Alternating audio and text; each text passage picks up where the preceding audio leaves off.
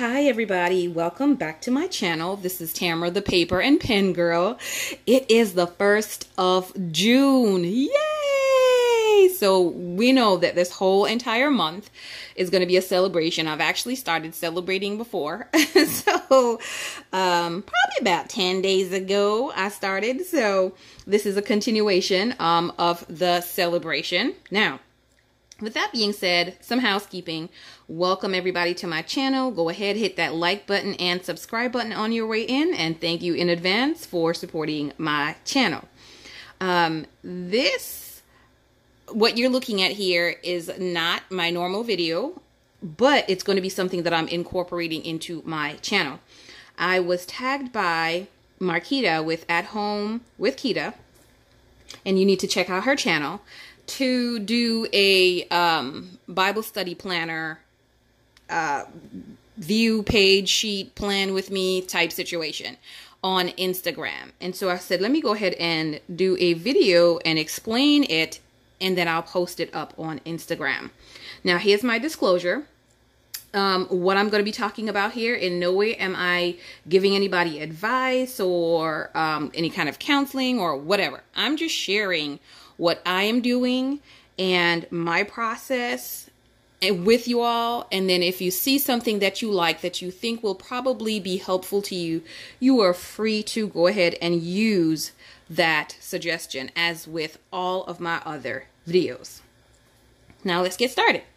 This that you're looking at is actually a hodgepodge uh, planner meaning it's not one specific thing. There's going to be different sheets or pages um, of the different planners um, throughout here. This is the, um, uh, oh my gosh, Soft Geos um, planner with the rings, the beautiful lilac rings. And of course, this page here is from the Faith Planner, one of the actual horizontal Faith Planner that Mambi put out.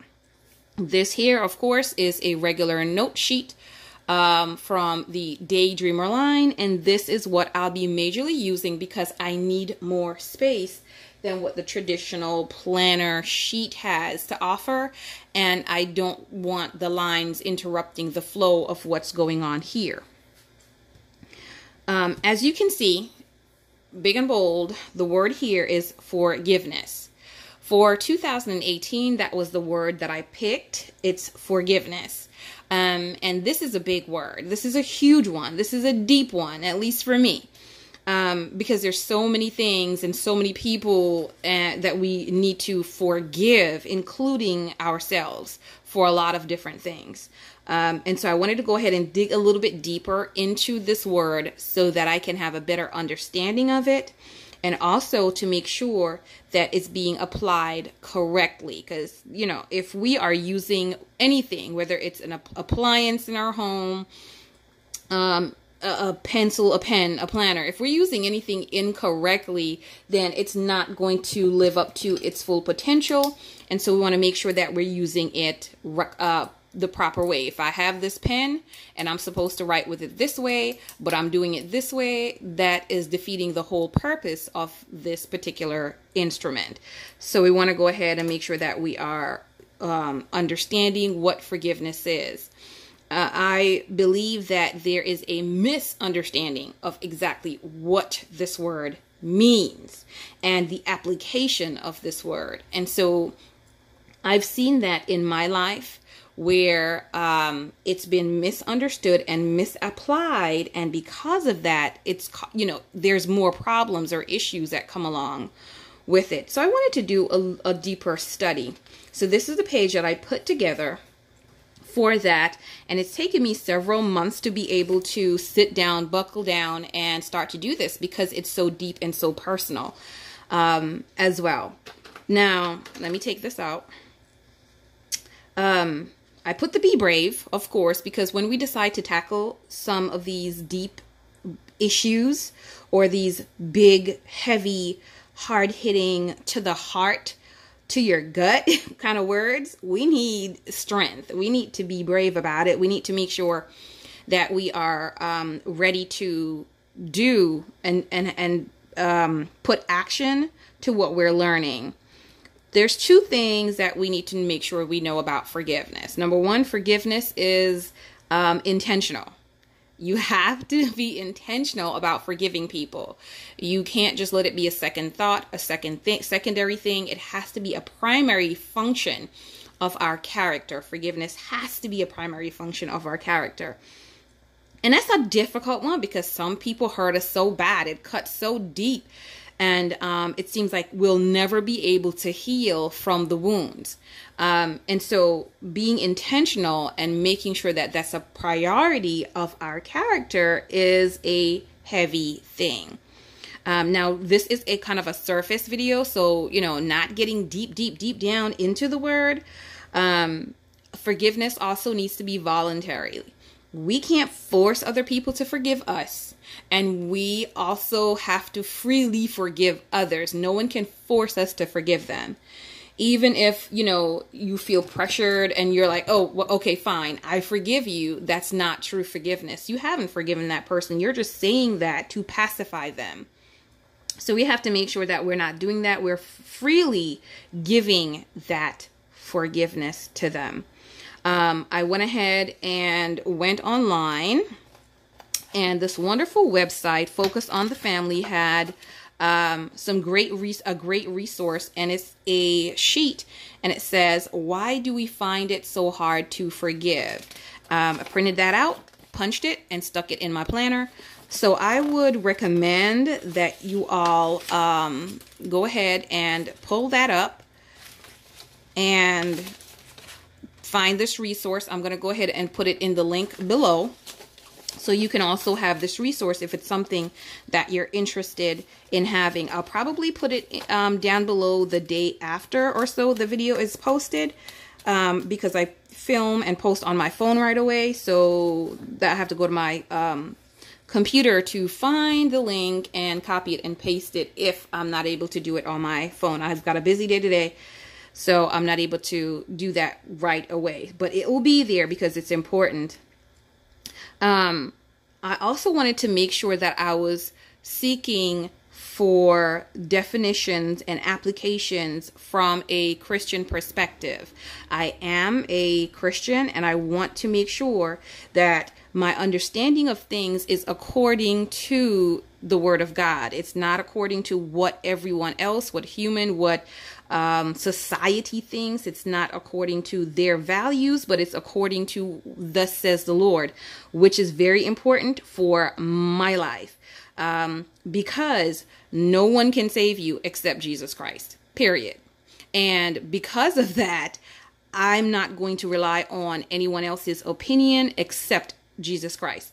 It also says that we should study to show ourselves approved so that you know we can rightly divide the word we won't be put to shame right so i wanted to make sure that i'm finding that application as well as drawing from some resources um, that were available as well so once i put forgiveness i also went ahead and i put what the definition was that resounded the most to me and it says to excuse someone from blame for an offense so here's the question now. How many times do people offend us throughout the day? Yee, a lot. We could be on the phone and someone offends us. We could be um, just going out. The cashier offends us. You right when we're out there making our purchases. Um, just many people. We're driving. Somebody cuts us off. They've offended us in some way, form, or fashion. Right. So there's a lot of offending going on each and every day. So I wanted to make sure I put a definition down there is to forgive or to excuse them. I'm excusing you from the blame. Please uh, write that word. I'm excusing them from the blame. Um, I also made sure that I put a scripture. What does that scripture that relate to it? It says, Father, forgive them for they know not what they do. And that's from Luke 23 and 34, verse 34. And that was when Jesus was on the cross um, and was being crucified. He was asking God to forgive the people that were crucifying him. Can you imagine? Forgive those that are killing me, for they really don't know what they do.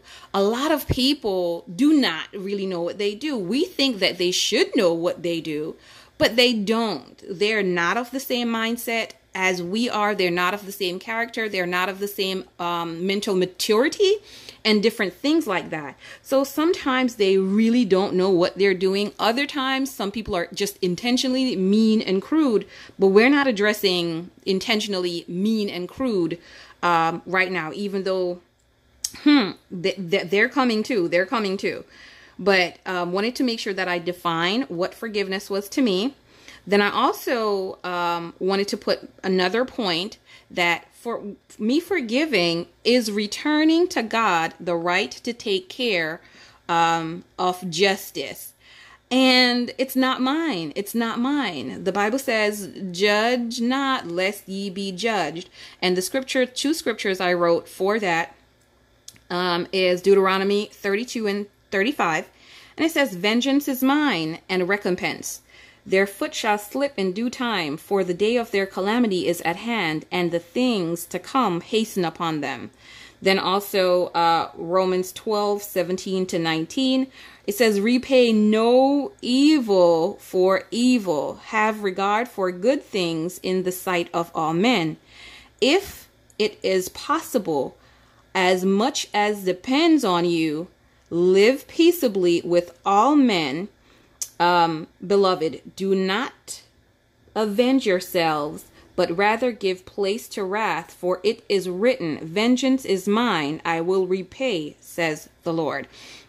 So I've got to learn to leave that to God. It's not my place to judge, and it's not my place to seek for retaliation or for vengeance. Um, so those were the scriptures and that's so difficult because a lot of times we want, like, if you do something bad to me, I'm like, oh my gosh, somebody needs to get them. You know, somebody needs to get them because they got me.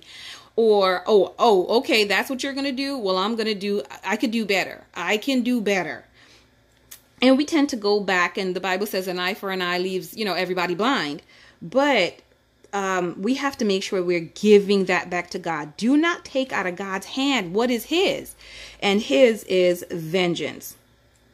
Also, ooh, this one forgiveness is a process, not an event. It is not a date. We go on the date and it's over, right? We have a planner meetup. The meetup has come and gone and it's over. Mm-mm. It's a process that we're going to go through. We're not going to just miraculously wake up unless God sees to, to do that for us and be able to forgive, especially um, the people that are closest to us that hurt us the most. Um, another one says we have to forgive every time. Oh my gosh, like, are you serious? Every single time. So every time they kick us in the head, we've got to forgive them. Um, now, with that, that doesn't mean forgiveness does not mean that when they kick you in the head and you forgive, that you've got to go back and sit there to be kicked again. So don't even think for a moment that that means forgiveness means that I have to now place myself back into the same situation or circumstance that caused me to um to, to need to forgive that person in the first place. So uh, there's so much that goes into into this whole thing. That's why I said this is a surface thing forgiveness is so deep and so wide and so broad and it's different from circumstance to circumstance to circumstance. So make sure that um, you know we're working through the whole process and not just okay we're forgiving and i'm going to sit back in the same um, situation that could possibly be abusive. Now um, then i went up to the top and wrote a couple scriptures here that was also um, very interesting to me. Well, this one is not a scripture. It says, if they don't repent, we still have to forgive them. Oh, really? Really? Like sometimes the word beats me up. And, you know, it gets you black and blue because it's like, I don't want to. I don't want to. But remember, um, voluntary is is a, a, choice. We have a choice, and we have a choice to um, choose how we react to people, choose where, where and what role people play in our lives. And we also have a choice to be able to forgive them every single time. Um, it is not by our own strength or our own might that we can do that. We have to be able to do that through the strength of Christ um, as well. So the scripture that goes to that for me, that is like, shows me the benefit of forgiving others. It says, Forgive us our sins, for we also forgive everyone that is indebted to us and lead us not into temptation but deliver us from evil and that's luke 4 um, i'm sorry luke 11 4 and you can find that that's a part of the, the lord's prayer um, as well and it's a prerequisite like forgiveness is a pre requisite to you being able to ask God for forgiveness yourself and receive it. If you aren't willing to give something, how do you expect for someone else to just give it to you? It's not that kind of relationship. It's not a give give. It's it's a give and take. It's a give and take. So if I give you forgiveness and you take it, then now I'm able to go and ask God for forgiveness and take the forgiveness that he's given unto me. Now, Matthew 6, 14 and 15 explains that even better. And it says, For if you forgive others, other people, when they sin against you, your heavenly Father will also forgive you. But if you do not forgive other others their sin, your Father will not forgive you your sins. Is the forgiveness of God important to you? Yep, it's important to me. And so I want to make sure that I am um, doing thus says the Lord. And so, in that, these are all things that were important to me about the word forgiveness and the points that are coming out from the um, the resource sheet from Focus on the Family. Now, this does have a lot more points that I need to dig deeper into. One, two, let me count that. 3, 4, 5, 6, 7, 8, 9, 10, 11, 12, 13, 14, 15, 16, 17. There's 17 points here um, that the author says that we should know about forgiveness and understand about forgiveness. And there's only a few on this first sheet. And so, and after I finished this first sheet, I did go ahead and write a little prayer here um, for for the Lord to give me His forgiving power. Because by myself, I'm too selfish. Um, I'm really too selfish. And so I need to make sure that I'm asking for his power to be able to forgive um, like he does. Um, and another thing that I also did was I went ahead, I don't want to write on the back sheet of the paper, so I'm going to start um, a couple of the other ones on another sheet of paper, on a clean one, so they will all be only right side writing, not left side writing. I did go ahead and list out several more scriptures that talk about forgiveness uh, um, as well on this um, half sheet that I made, right? Um, and stuck it in here. Also, um, there's more scriptures that could be written, but this is all that I'm going to do for now.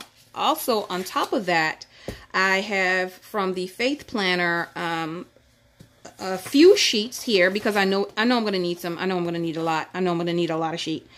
So it's who do I need to forgive? Mmm, yeah. So now I'm going to just go through and start, you know, listing. I might do this and list who I need to forgive on here and then write out uh, one by one the name what is it that I need to forgive them for, and my prayer on that issue and scriptures that might be able to help me with the forgiving on that issue. So, this is a much deeper study, and because this is such a deeper study where it's going to lead me from getting the understanding of um, what forgiveness is to who needs that forgiveness. And the first one is going to be myself, of course.